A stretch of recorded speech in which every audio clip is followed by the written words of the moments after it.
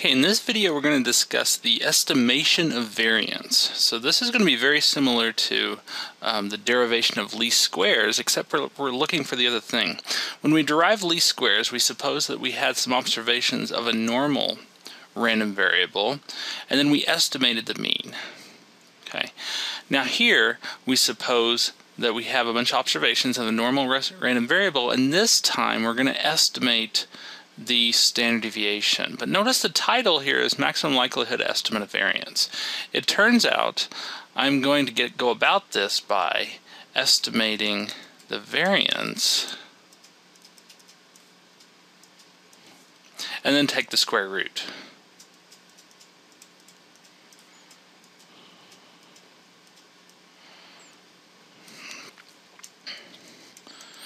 So even though I'm, my goal is really to estimate the standard deviation, because that's what we use more often, that's what makes a little bit more sense to us than the variance, we're going to have to get the variance first. Okay, so this is a subjective question. How should something be estimated? Uh, the main method that we've talked about in this class is maximum likelihood. So we're going to look at it from the perspective of maximum likelihood.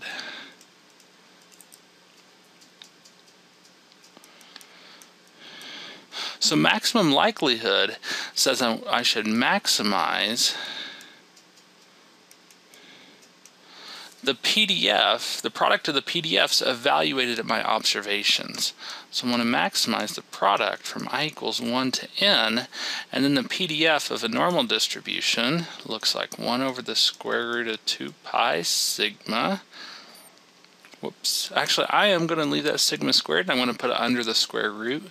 We usually use sigma in this class um, and leave it outside the square root, but it's the same thing if I write sigma squared, have the variance there and put it under the square root, times e to the power of negative, let's see, we have xi minus mu squared divided by 2 sigma squared. So we want to maximize this thing.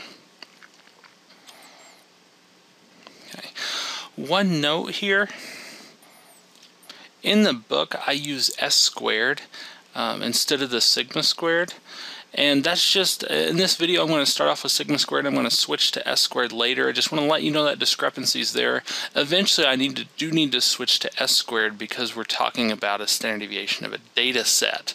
We're going to work off of data rather than the theoretical distribution. It's a theoretical distribution that we're trying to approximate. So just wanted to point that out. In the book I have s squared. I will eventually switch to that here, but I'm going to wait longer. Okay, I could rewrite this.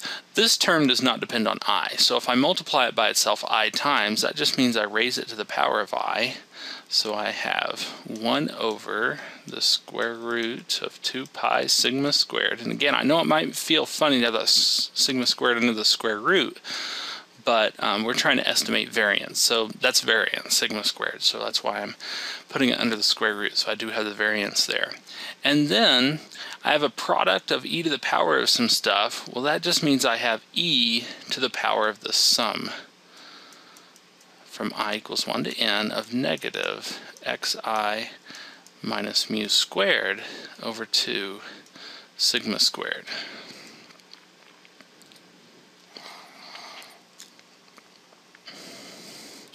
Okay, so I want to maximize this. And in particular, I want to maximize it by choosing an appropriate sigma squared. That's what I'm trying to estimate here. So this time I'm thinking of mu as being constant. Well, I can pull out the negative 1 over 2 sigma squared, and this becomes 1 over the square root of 2 pi sigma squared to the power of n times e to the negative 1 over 2 sigma squared times the sum as i equals 1 to n of xi minus mu squared. Now if I'm trying to estimate sigma squared, notice that this summation doesn't depend on what I'm trying to estimate. So I'm just going to give that a name c so that I don't have to keep writing it. So our goal here is to maximize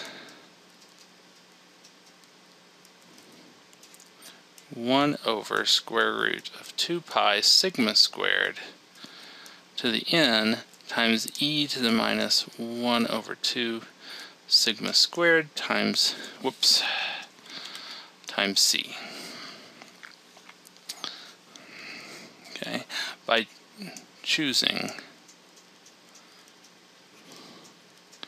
sigma squared.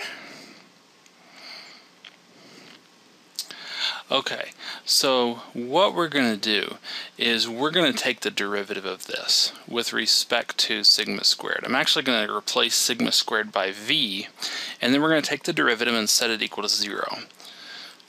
So I'm going to have 1 over square root of 2 pi v to the power of n times e to the negative let's see, we'll do a 0.5 for 1 half. Now this is variance on the bottom, so it has a power negative 1 on it, and then we're multiplying by c. Okay.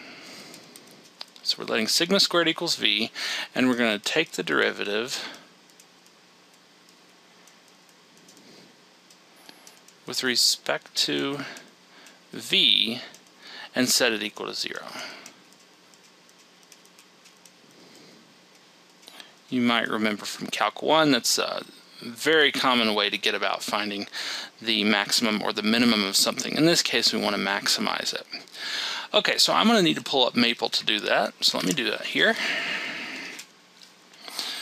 Okay, so I'm going to differentiate that expression. I'm going to diff, D-I-F-F in Maple stands for differentiate, 1 divided by the square root, I need a square root, so let me find that, it's right there, of 2 times pi. Let's, I gotta find pi.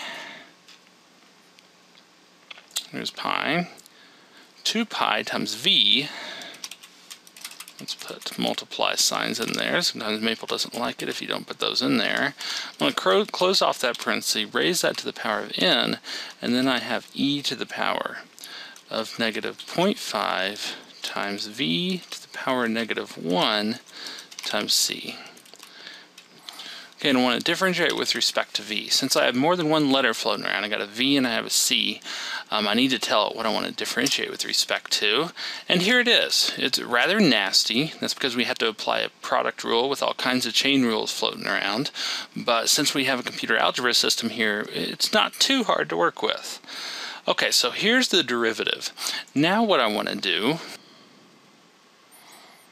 is take that derivative and set it equal to zero. So I'm going to solve the equation. I'm just going to copy this and paste it. That derivative equals zero, and I need to tell it what variable to solve for. I'm going to solve for v. Okay, so if I do that and I press enter,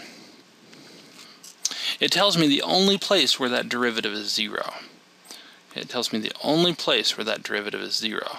Well, that derivative is 0 for c times the natural log of e. Natural log of e is just 1.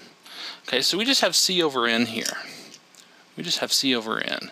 So what we did, we took this function, we differentiated with respect to v, and then we solve, we set that equal to 0 and solve for v, and we got c over n. Since that's the only place where the derivative is 0, and the derivative exists, then that's going to be the place that our expression is maximized at. So let me go back to Microsoft Paint. Okay, and we saw that we when we maximize that, that means that we let v be c over n. And remember that c was this guy. It was the sum of the squared deviations. So the variance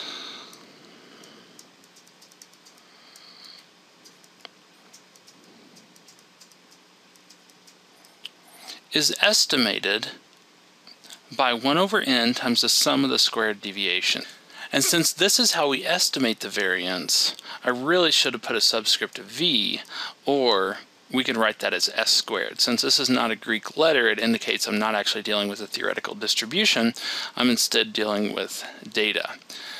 And that is 1 over n times the sum as i equals 1 to n of xi minus mu squared.